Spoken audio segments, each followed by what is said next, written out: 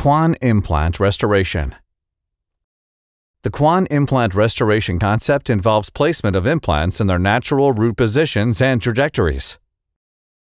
After the appropriate numbers of implants were placed into their previous tooth or root positions, a corresponding scannable healing abutment is attached to the implant for proper healing and soft tissue profiling.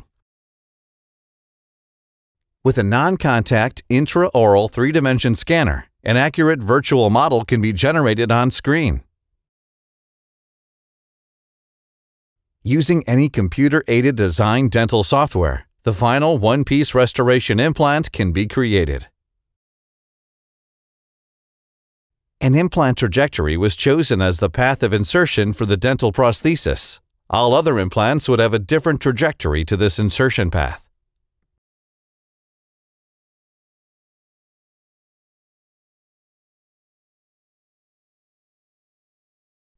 In order to create a common path of insertion for the dental prosthesis into all the implants, the obstruction of the abutment posts needs to be removed.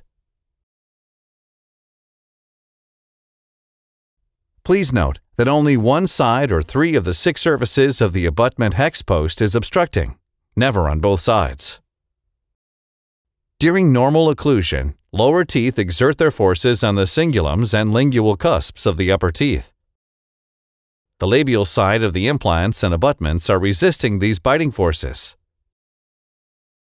Please note there is no force acting on the lingual side of the hex. This clinically validated method provides a stable attachment of a one-piece implant prosthesis to multiple implants with different trajectories, without any intermediate components between the implants and the final restoration. The computer-aided design dental prosthesis can be fabricated directly from milling block of materials, including titanium, zirconia, and other tooth-like materials. After milling of the restoration, it can be aesthetically enhanced with customized porcelain.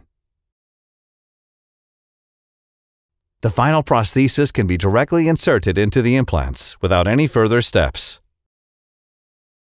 The prosthesis is stabilized by two set screws, as the forces from occlusion are directed to the apex superiorly and laterally, but not in the opposing direction.